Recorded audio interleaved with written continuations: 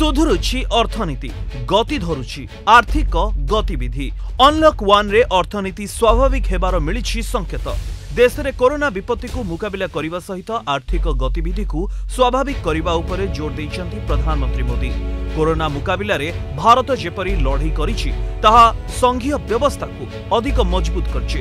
ଏହା ଅନ୍ୟମାନଙ୍କ ପାଇଁ କୋପରେଟିଭ୍ ଫେଡେରାଲିଜମର ଉଦାହରଣ ସୃଷ୍ଟି କରିବ ବୋଲି ବିଭିନ୍ନ ରାଜ୍ୟର ମୁଖ୍ୟମନ୍ତ୍ରୀଙ୍କ ସହ ଆଲୋଚନା କରି ପ୍ରଧାନମନ୍ତ୍ରୀ କହିଛନ୍ତି ଅନଲକ୍ ୱାନ୍ ଦ୍ୱାରା ଦେଶର ଅଧିକାଂଶ ଆର୍ଥିକ କାରବାର ସ୍ୱାଭାବିକ ହୋଇପାରିଛି ସରକାରଙ୍କ ଦ୍ୱାରା ଜାରି କରାଯାଇଥିବା ଗାଇଡ୍ଲାଇନ୍ ପାଳନ କରାଯିବା ସହିତ ସତର୍କତା ଅବଲମ୍ବନ କଲେ କରୋନା ଯୁଦ୍ଧରେ ଅଳ୍ପ କ୍ଷତିରେ ବିଜୟୀ ହୋଇପାରିବା ବୋଲି ପ୍ରଧାନମନ୍ତ୍ରୀ ମୋଦି କହିଛନ୍ତି हमें इस बात का हमेशा ध्यान रखना है कि हम कोरोना को जितना रोक पाएँगे, उसका बढ़ना जितना रोक पाएँगे, उतना ही हमारी अर्थव्यवस्था खुलेगी।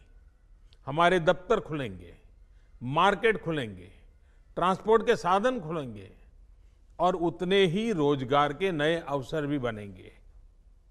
साथियों, आने वाले दिनों में अलग अलग राज्यों में इकोनॉमिक एक्टिविटी का जिस तरह विस्तार होगा उससे मिले अनुभव दूसरे राज्यों को भी बहुत लाभ पहुंचाएंगे ଅର୍ଥନୀତିକୁ ଦୃଷ୍ଟିରେ ରଖି କେନ୍ଦ୍ର ସରକାର ତିନୋଟି ପର୍ଯ୍ୟାୟରେ ଆର୍ଥିକ କାରବାରକୁ ଖୋଲିବାକୁ ନିଷ୍ପତ୍ତି ନେଇଛନ୍ତି ଧ୍ୟାନ ରଖିବା ଦରକାର ଯେ କରୋନାକୁ ଯେତିକି ରୋକିପାରିବା ଆମ ଅର୍ଥନୀତି ସେତିକି ଖୋଲିପାରିବ ବୋଲି ପ୍ରଧାନମନ୍ତ୍ରୀ କହିଛନ୍ତି गत कि सप्ताह मध्य देश में जातायातर सबु साधन आरंभ हो सारी भितर देश में आरोग्य हार पचास प्रतिशत अतिक्रम करोन जनकर मृत्यु भी दुखदायक किंतु यह सत जे भारत से ही देशगुड़े रही जोठे कोरोना मृत्यु संख्या कम रही प्रधानमंत्री मोदी कहते सही समय पर लिए गए फैसलों ने देश में कोरोना संक्रमण को नियंत्रित करने में बहुत मदद की है। भविष्य में जब कभी भारत की कोरोना के खिलाफ लड़ाई का अध्ययन होगा तो ये दौर इसलिए भी याद किया जाएगा कि कैसे इस दौरान हमने साथ मिलकर के काम किया। कोऑपरेटिव फेडरलिज्म का सर्वोत्तम उदाहरण प्रस्तुत किया।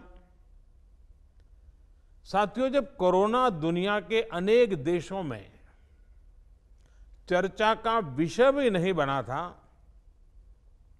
तब भारत ने इससे निपटने के लिए तैयारियाँ शुरू कर दी थी। फैसले लेने शुरू कर दिए थे।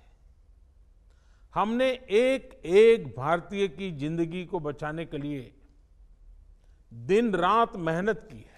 ଜୁନ୍ ଏକରୁ ଆରମ୍ଭ ହୋଇଥିବା ଅନଲକ୍ ୱାନ୍ରେ ଦୁଇ ଗଜର ଦୂରତା ଓ ମାସ୍କ ପିନ୍ଧିବା ଜରୁରୀ ବୋଲି ପ୍ରଧାନମନ୍ତ୍ରୀ କହିଛନ୍ତି। ଭିଡିଓ କନଫରେନ୍ସିଂ ଜରିଆରେ ହୋଇଥିବା ଏହି ଆଲୋଚନାରେ ରାଜ୍ୟ ସରକାରଗୁଡ଼ିକ କରୋନା ମୁକାବିଲା ପାଇଁ ଗ୍ରହଣ କରିଥିବା ପଦକ୍ଷେପ ସମ୍ପର୍କରେ ଅବଗତ ବି କରାଇଥିଲେ। Bureau report the Argus dot in.